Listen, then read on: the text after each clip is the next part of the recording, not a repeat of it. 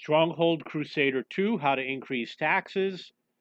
Uh, so you can see here on the menu, which is on the upper right of the screen, there is a green face or a red face, depending on whether you're happy or not.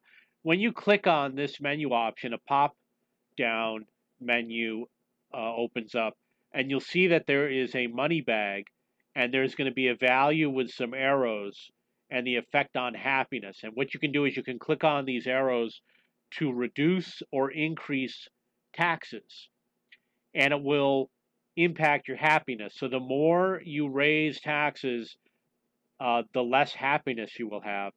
And you can not only lower taxes, but you can actually pay people to come to your castle, um, which you'll do if you need to bring a lot of people in. So taxes are necessary to play the game because you need them to pay for your military. You want to bring in that gold, and you can use it to pay for things such as food.